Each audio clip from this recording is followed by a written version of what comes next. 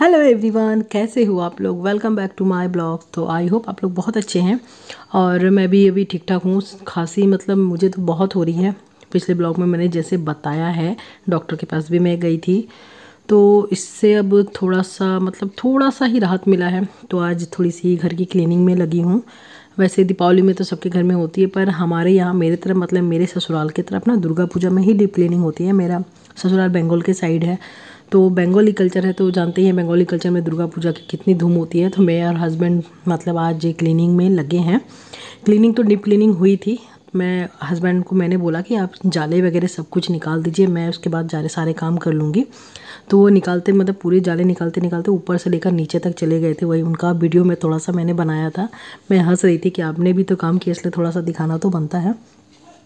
तो वही क्लीनिंग वगैरह मैंने जल्दी जल्दी किया। मतलब डीप क्लीनिंग नहीं बोलूँगी, लेकिन हाँ दुर्गा पूजा भी पंद्रह दिन शायद हो गए हैं तो उसके बाद जो जो थोड़े जाले वाले, चादर चेंज करना, ये सब करना, गंदे हो रहे थे, कुछ कुछ जो गंदे हो रहे थे, वो सब सब सफ़ाई किया और अब नहा धोकर आ गई हूँ। ब्लॉग नहीं बना पाई क्योंकि काम में जब लगते हैं ना, फिर भूल गई थी मैं बनाना।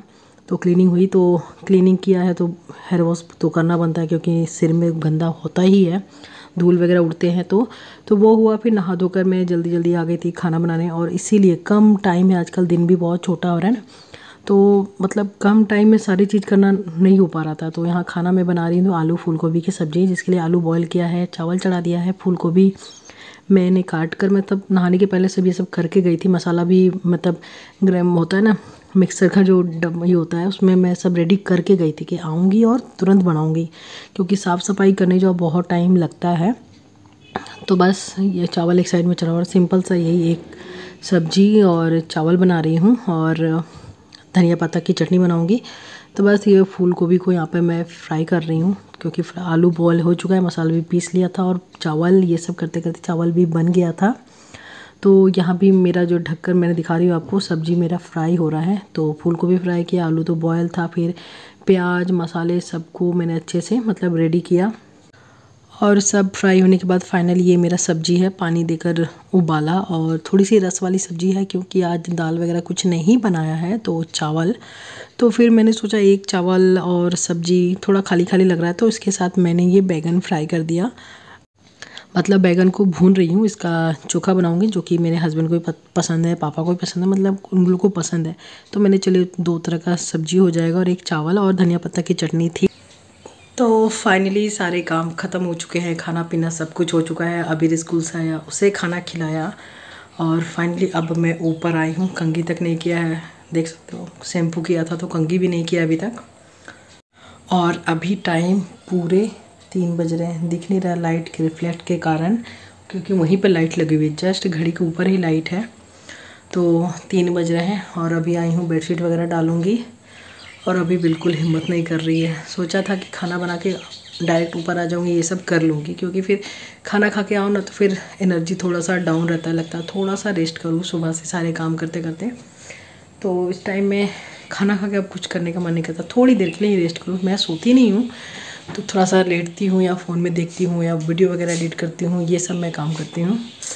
तो वही अभी सोच रही हूँ, काम भी बहुत है अभी काम दिमाग में बहुत सारे चल रहे हैं बहुत कुछ कुछ काम करना है क्योंकि मुझे अपने मायके भी जाना है छठ पूजा में उसकी भी तैयारी करनी है अभी तक तो कुछ नहीं हुआ है इधर दीपावली है दीपावली के बाद एक दो दिन फिर हम लोग बिज़ी रहते हैं दिवाली के बाद भी मेला वगैरह हम लोग घूमते हैं अभी तो दुर्गा पूजा का मेला के कारण जो खांसी वो ठीक हुआ नहीं है फिर से दीपावली का मेला फिर छठ पूजा में जाना है ये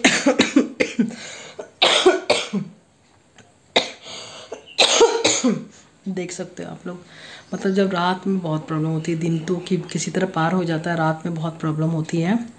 तो बस, चलिए, देखती हूँ, बेड, बेडशीट वगैरह डाल लूँ, उसके बाद मुझे यूट्यूब वीडियो भी एडिट करना है। क्योंकि ब्लॉग टाइम पे नहीं जा पाता है, इसके कारण ही। तो चलिए, एक दो घंटा ही टाइम है, क्योंकि देखते देखते अब दिन छोटा हो रहा है तो शाम हो जाती है। चार, साढ़े चार बजते हैं कि अंधेरा होने लगता है। पाँच बजे तक तो बिल्कुल लगता है कि शाम हो गया। तो कंगी वगैरह भी करना है, बेडशीट डालना है तो चलिए काम ख़त्म करते हैं। तो यहाँ सबसे पहले मैं खिड़की लगाऊँगी, क्योंकि एक तो कैमरा में दिक्कत होता है। खिड़की जब भी खुला रहा हूँ मैं रिकॉर्डिंग करती हूँ, मैं देखती हूँ वीडियो क्वालिटी उतनी मेरा रिफ्लेक्ट करता है। तो पहले वो बंद किया और ठंडी ठंडी हवा भी आनी शुरू हो गई थी, क्योंकि अब तीन बज गए। और तीन, अभी के टाइम में तीन चार बजना मतलब समझ लो कि यहाँ शाम हो ही चुकी है। ऐसी हालत हो रही है अब। मतलब खाते पीते तो लग रहा है कि दिन कब पार हो जाएगा, पता भी नहीं चलता है। तो यहाँ पर जल्दी से मैं बेड कवर और तकिया कवर ये सबको मैं लगा लूँ। और यहाँ पर लगा रही हूँ तकिया कवर तो मुझे थोड़ा सा टाइट लग रहा है। मैंने सोचा पता नहीं होगा कि नहीं, ये दो तकिए हैं, थोड़े से पतले हैं। हस्बैंड वाले थोड़ा सा और मोटा है, इससे मैंने सोचा कि इसमें नहीं लगे, उसमें कुछ और लगा दूँगी। और ये दो दोनों पतले हैं, इसमें ये दोनों के मैचिंग वाले लगा देती हूँ। तो तकिए के कवर तो लगा दिया। अब इस बेडशीट को सेटिंग करना है और एक साइड वाले जो बेड होते हैं ना, बहुत प्रॉब्लम होता है बेड को सेट करने में, सच में। जो रूम के बीचों बीच हो ना, उनको उसमें बेड या बेडशीट बिछाने में बहुत आराम होता है, पर एक साइड वाले होता है ना, बहुत प्रॉब्लम होता है। बेडशीट वगैरह सब कुछ डाल दिया, आप देख सकते हो। कितना अच्छा लगता है ना, जब साफ़ सुथरा रहता है न्यू न्यू बेडशीट है। कल के ब्लॉग में शायद मैंने दिखाया है कि बेडशीट मैं निकाल रही थी तो यही वाला है। ये ये ना मुझे उल्टा डालना पड़ रहा है। इसको फूल जो है, ऐसे रहता, पर इसको मुझे ऐसे डालना पड़ रहा है, क्योंकि बेडशीट में थोड़ा सा छोटा हो रहा था, बेड पे छोटा हो रहा था तो वहाँ पर अलग किस्म का कपड़ा जॉइंट किया है इस साइड में। और हम लोग ऐसे ही करते हैं, जो चादर थोड़ी सी छोटी होती है, उसमें अलग से कपड़ा हम लोग जॉइंट कर देते हैं, जो कि अंदर रहेगा, जो कि दिखने वाला है नहीं। तो इस साइड भी देखिए, मेरा हो चुका है अच्छे से। तो बस, और ये इसका, ये दो कवर ये एक्स्ट्रा में डालना पड़ रहा है क्योंकि हम लोग तीन हैं। तो ये चल जा रहा है मैचिंग हो जा रहा है और वो भी अच्छे से मैचिंग हो जा रहा है। तो पूरा सेट हो जा रहा है। डेली यूज़ के हिसाब से ठीक है, मात्र ढाई सौ रुपये की मैंने ये बेडशीट खरीदी है, जिसमें दो पिलो कवर और बेडशीट है तो जो कि ठीक ठाक है। तो बस दीपावली आया है तो क्लीनिंग हुई है तो मैंने इसको डाल दिया कि आज से ऐसे रहेगा, अभी दो चार दिन ऐसे ही रहेगा, साफ़ सुथरा अच्छा रहता है। और बाहर भी कर दिया है ये। वहाँ पे पुराने वाले डाला है क्योंकि अब बच्चे वहाँ पे खेलते हैं मतलब अभी भी ट्यूशन पढ़ता है, बहुत गंदा करता है इसलिए उसको पुराना वाला ही डाला है। तो चलिए अब आराम से बैठती हूँ मैं और थोड़ा घर का तो काम हो गया, अब थोड़ा सा यूट्यूब का काम कर लूँ, जो वीडियो मुझे एडिट करना है। तो ठीक है, मैं मिलती हूँ शाम में आप लोगों से। तो मैंने तो बोला था, फिर शाम में मिलती हूँ। उसके बाद फिर मैंने शाम को नहीं बनाया, फिर नेक्स्ट डे सुबह भी नहीं बनाया। और नेक्स्ट डे रात की ये वीडियो है आप देख सकते हो, मैं ऊपर थी और हस्बैंड वहाँ पे ना, जितने भी दिवाली में जो लाइट वगैरह लगते हैं ना, वो सब चेक करने बैठे थे कि कौन सा ख़राब है, कौन सा अच्छा है इसलिए। तो बस खाना वाना बना के मैं ऊपर गई थी कुछ कुछ काम फिर मैंने जाकर किया और यहाँ पर अब खाने का टाइम हो चुका है। तो बस खाना निकालने के लिए आई हूँ। हस्बैंड को ही बोल के आया कि आओ आ जाओ जल्दी से। तो ये वाला देखिए, ये पे इसको नेनुआ की सब्ज़ी मैंने बनाया है। नेनुआ की आलू और थोड़ा सा चना दाल देकर। तो दो तीन ही था तो इसमें थोड़ा सा आलू और चना दाल दे दिया और रोटी बनाया। तो रात को फिर खाना वाना खाने के बाद मैंने वीडियो नहीं कुछ बनाया। अब नेक्स्ट डे फिर से मॉर्निंग में यहाँ पर मैं मिल रही हूँ। तो वही सुबह के जो सारे काम होते हैं, वही सब मेरा यहाँ पर चल रहा था तो एक साइड में दूध गर्म हो रहा है, नाश्ता, किसी का टिफ़िन किसी को चाय, वही सब यहाँ पर मतलब चल रहा है। मतलब हो, आधा काम हो चुका है तो मैंने ऐसे ही वीडियो बनाया कि हाँ मैं यहाँ पर किचन में कुछ काम कर रही हूँ, बर्तन वगैरह पड़े हुए हैं। किचन की हालत सुबह में बहुत ख़राब रहती है। अभी के लिए टिफ़िन उसको भेजना, सबको नाश्ता देना, चाय, दूध, बहुत कुछ।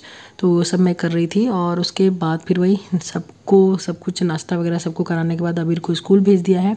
अब आई हूँ थोड़ा सा किचन को साफ़ किया और जो भी नाश्ता वगैरह के बर्तन थे, वो सब मैं यहाँ पर धो रही हूँ। तो उसके बाद अब सारे काम ख़त्म कर कर नहा धोकर मैं आ चुकी हूँ फिर से ही किचन में खाना बनाने के लिए, दोपहर का खाना। तो उसके बाद कोई वीडियो ही नहीं, मैंने नहीं बनाया। और आजकल ऐसे हो रहा है, जब याद आ रहा था वीडियो बना रही हूँ, इसलिए कुछ कुछ क्लिप्स ऐड होते ऐसे क्या हो जा रहा है ना दो तीन दिन का ब्लॉग मुझे एक साथ देना पड़ रहा है। एक पर्टिकुलर एक दिन का मैं ब्लॉग पूरा कर ही नहीं पा रही हूँ। तो ये देखिए, यहाँ पर आलू फ्राई हो रहा है। तो यहाँ पर आलू पोस्तू बन रहा है और ये सीम सीम होता है ना, उसको मैं फ्राई कर रही हूँ, हल्दी नमक देकर। तो आलू पोस्तू सेम और ये दाल बन चुका है, चावल बन चुका है और यहाँ पर पोस्तू मैं पीस कर रखी हूँ इसमें, जो कि आलू और पोस्तू बनेगा। तो ये है दोपहर का लंच तो मुझे याद आया कि हाँ आलू पोस्तू बनाए मतलब आज थर्सडे है। नहीं तो मैं भूल जाती थी किस दिन किस दिन का ये ब्लॉग है, क्योंकि हर थर्सडे को मेरे यहाँ पोस्तू बनता ही है, क्योंकि लहसुन प्याज नहीं बनता इसलिए। तो वो तो दोपहर तक का था, जो खाना बनाया, और अब हो चुकी है रात। तो पिछले दिन के, पिछले दिन शायद मैं दिखाया था हस्बैंड लाइट्स वगैरह सब ठीक कर रहे थे दीपावली के लिए। तो अब दोनों बाप बेटे ऊपर लगे हुए हैं दीपावली की दीपावली की तैयारी में मतलब घर को सजाने का, लाइट वगैरह लगाने का। तो मैं तो नीचे खाना बना रही थी और दोनों बाप बेटे ऊपर लगे हुए हैं, देख सकते हो। कलर मतलब लाइट वगैरह लगा रहा और ये हमारे घर के सामने एक लाइट लगा है। तो हस्बैंड लगा रहे, इधर से तो हमारा घर दिखेगा नहीं। हाँ और हमारा घर ऐसा है ना कि मेन रोड पर जाके ही दिखता है, क्योंकि घर के चारों तरफ़ पेड़ उड़ वगैरह हैं और वहाँ से रिकॉर्डिंग अच्छे से नहीं हो पाती है। मैं दिखाऊँगी नीचे से जाकर।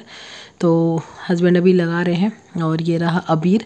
तो मैं से बोल रही कि ऊपर में कितना ठंड लग रहा है। नीचे में मैं खाना रोटी बना रही थी, कितना गर्म लग रहा था। मैं ऐसे ही चले आई और ऊपर आकर देख रही हूँ, बहुत ठंड लग रही है ऊपर में। तो ये रहा ऊपर से हमारे मोहल्ले और घर का व्यू, जो कि बहुत कोई अभी नहीं लगा है तो क्योंकि मेरा घर पीछे के साइड है ना तो पीछे के साइड दिखता है, रोड के उस साइड सामने से दिखेगा भी।